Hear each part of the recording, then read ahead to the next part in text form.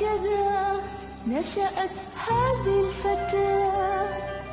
هكذا قبلت وجه الحياة. باسما عابسا هي لا تحتار. لا لا تيأس أوسكار